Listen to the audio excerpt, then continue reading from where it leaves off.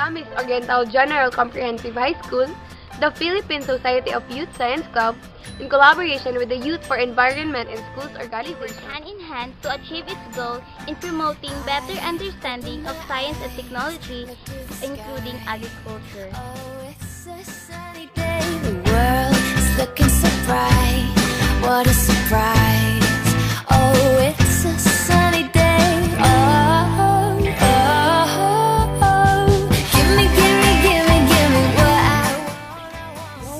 limited space in our locality because most of it are already converted into commercial buildings and establishments.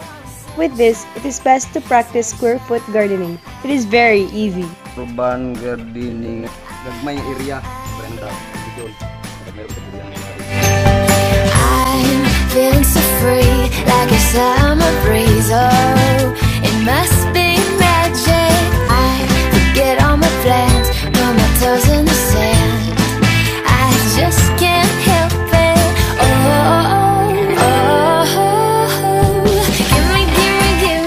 The time frame for making square foot gardening is 17 to 19 days only.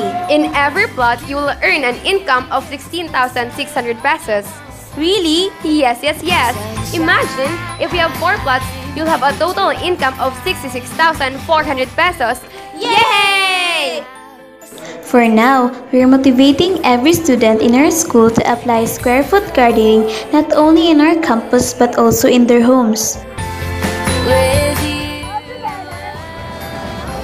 support organic farming. Through where most